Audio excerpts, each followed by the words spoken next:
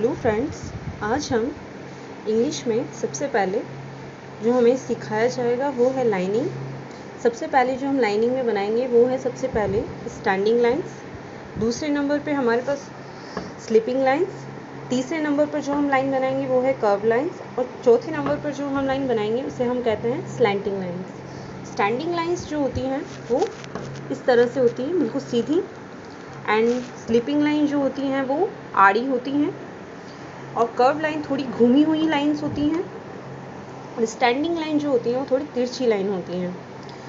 सबसे पहले हम सीखेंगे फ़र्स्ट स्टैंडिंग लाइन कैसे बनाई जाती है।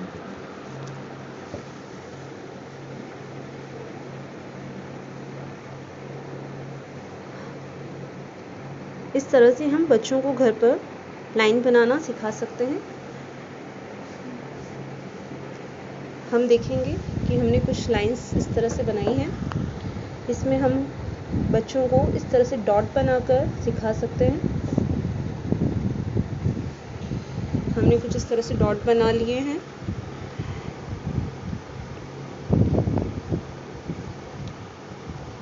अब हम बच्चों को कहेंगे कि इन डॉट्स पे हमें क्या है? पेंसिल फेरनी है।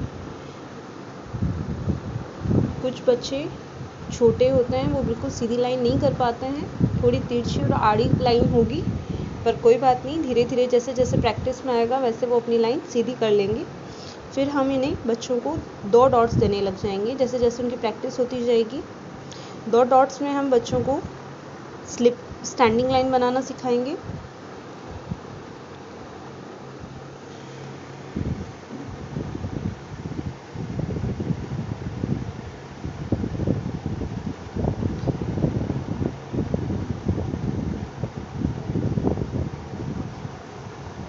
ये बहुत ही आसान तरीका है बच्चों को लाइन बनाने का और सिखाने का। इस तरह से आप घर पर भी इसे बच्चों को वर्कशीट या वर्कबुक में आप घर पे बैठ कर इसे करवा सकते हैं। बच्चे easily one page two page इसे घर पर डेली घर पर कर सकते हैं। नेक्स्ट हमारे पास जो लाइन लाइनिंग वो है वो है स्लिपिंग लाइन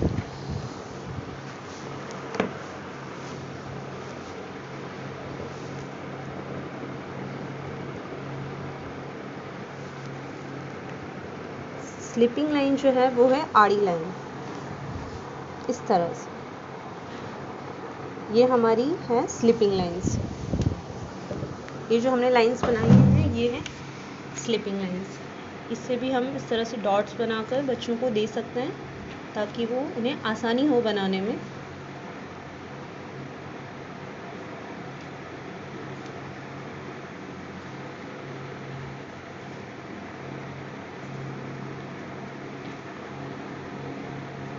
बच्चे डॉट्स पर इसी तरह से धीरे धीरे पेंसिल फेरेंगे और उनकी स्लीपिंग लाइन बन जाएगी।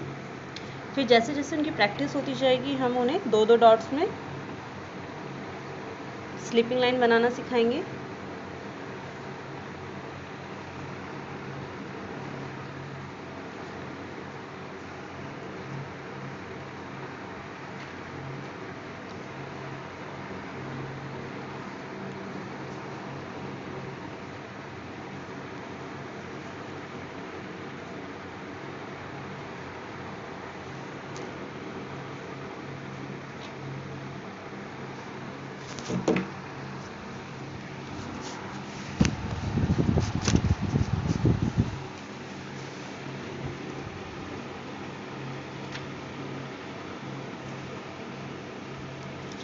नेक्स्ट हमारे पास जो लाइनिंग है, वो है कर्व लाइंस थर्ड नंबर पे जो हमारे पास लाइन है, वो है कर्व लाइंस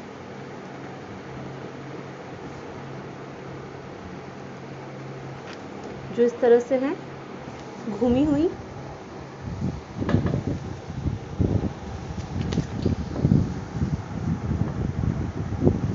हम बच्चों को घर पर, उनकी वर्कबुक में इस तरह से डॉट्स बनाकर दे सकते हैं। ये थोड़ा टफ होता है।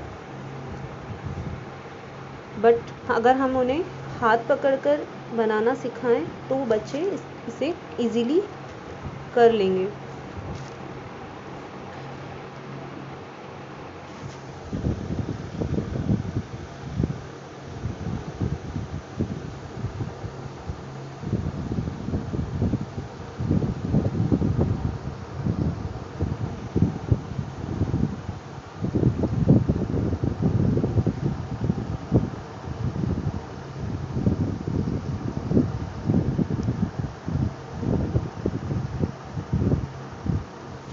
कुछ है स्टॉर्ट पे हम इस तरह से पेंसिल फिरते जाएँगे।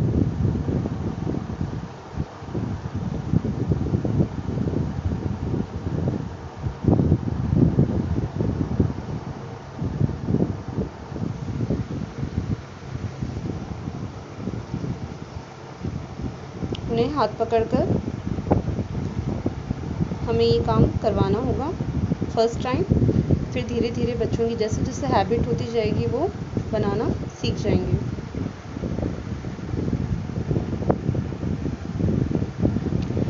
एंड लास्ट हमारे पास जो लाइन है, वो है स्लैंटिंग लाइंस जिन्हें हम आड़ी लाइन भी कह सकते हैं।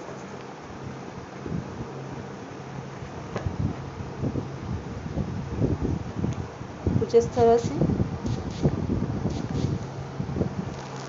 हम इस तरह से बच्चों के लिए कुछ डॉट्स बनाएँगे। ये थोड़े तिरछे हैं।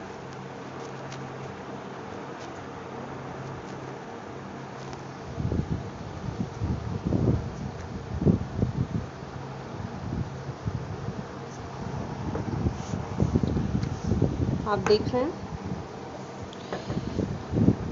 हम इस तरह से डॉट्स पे तिरछी लाइन बनाएँगे।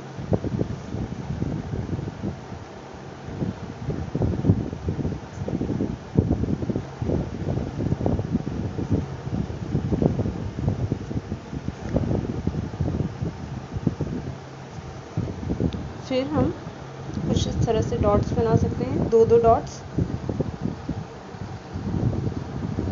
ताकि जो बच्चे हैं वो डॉट से डॉट मिलाना सीख जाएँ।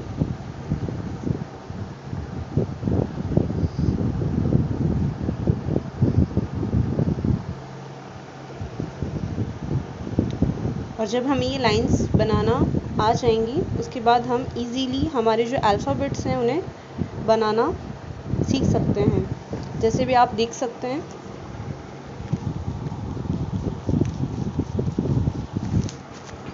कि जो हम एफ़ फॉर एप्पल बनाते हैं, उसमें हमें जो हम एफ़ फॉर एप्पल बनाते हैं, उसमें हमें स्लैंटिंग लाइंस की ज़रूरत पड़ती है और स्लीपिंग लाइन की ज़रूरत पड़ती है। जैसे हम इसमें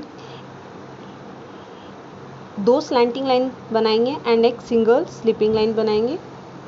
ऐसे ही बी फॉर बॉल के अंदर हम एक स्टैंडिंग लाइन बनाएँगे और दो हाफ़ कर्व लाइंस बनाएँगे। ऐसे ही सी जो है वो कर्व लाइंस की तरह है सेम हमें वैसा ही बनाना है। सेम वैसे ही हम जब डी बनाएँगे तो उसमें एक स्टैंडिंग लाइन बनेगी और एक कर्व लाइन बनेगी।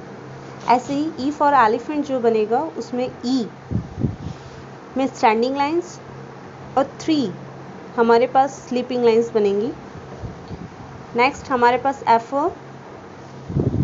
फ़िश है। उसमें हम एक स्टैंडिंग लाइन और दो स्लीपिंग लाइन यूज़ में लेंगे जी फोर गन में हम curve line half standing lines half sleeping lines and half standing lines use करके हम जी को बना सकते हैं। वैसे ही हमें एच बनाने के लिए दो स्टैंडिंग लाइंस और एक स्लीपिंग लाइन की ज़रूरत होगी। नेक्स्ट हम आई आई फॉर आइसक्रीम बनाने के लिए आई आई बनाने के लिए एक स्टैंडिंग लाइन और दो हाफ़ स्लीपिंग लाइन का इस्तेमाल करेंगे। इस तरह से हम हमारे अल्फ़ाबेट्स जो हैं, वो कंप्लीट कर सकते हैं इन लाइन की मदद से।